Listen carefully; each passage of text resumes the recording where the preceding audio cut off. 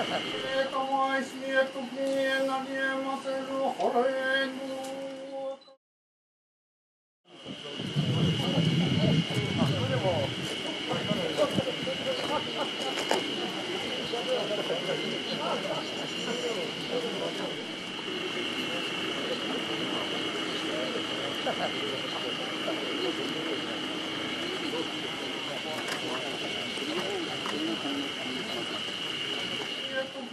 なりえませるほれの